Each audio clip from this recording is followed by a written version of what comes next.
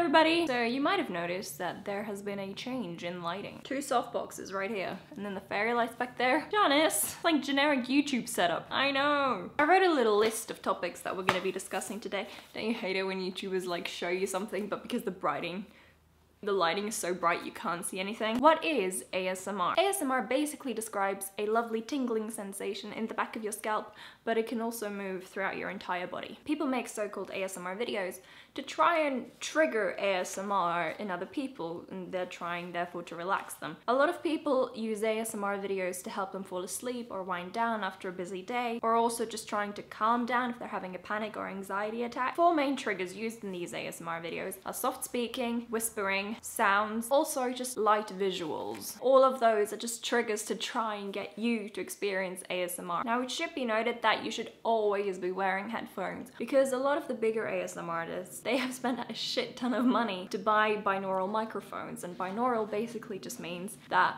you can hear if they're talking on this side or if they're talking on this side. There's a lot of stigma when it comes to ASMR. ASMR is not meant to be perceived in a sexual way. There are sexual ASMR artists out there. You know how I have a Let Me Help You Out Bro series on my channel where I give channels that I enjoy a shout out? I'm gonna go ahead and do that, but with ASMR artists this time. Okay, so the first person I'm gonna give a shout out to is Visual Sounds One. She makes very nerdy role plays. For example, around Halloween, she had American Horror Story inspired role plays. Accidentally graceful, always really high quality stuff. The next person I'm gonna give a shout out to is my actual favorite ASM artist, who is Whispers Unicorn. She'll read a passage from a book, just listing things to make you happy, or she'll make a video trying to help you calm down when having a panic attack. The next person is Whispers in Bloom. She makes videos kind of around the theme of fairy tales, all just really imaginative, and I really enjoy her videos because they're so creative.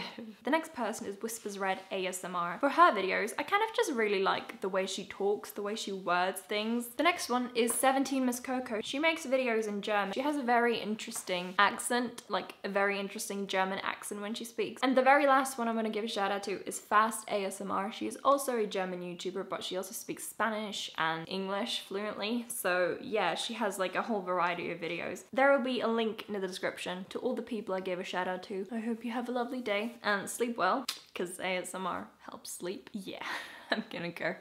Bye.